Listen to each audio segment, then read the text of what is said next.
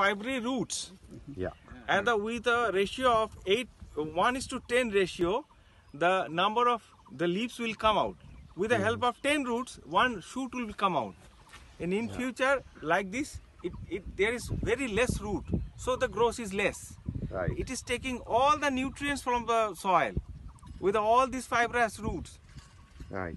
And uh, talk about that center out also. How it's and the center out we have attended within the three months this much of thickness Yes, I, this Yeah. is one year and plant. one year You see the difference. so there's a difference of This nine is three months. months This is one year. Yeah. it is advanced with the nine months with this help of this nature deep Right, so I right, try right, right. my uh, knowledge goes Yeah. and in future also in within a short time it will make a very nice root system in the Root soil system, right? Yeah. for the future of this plant growth Right. Right. Right.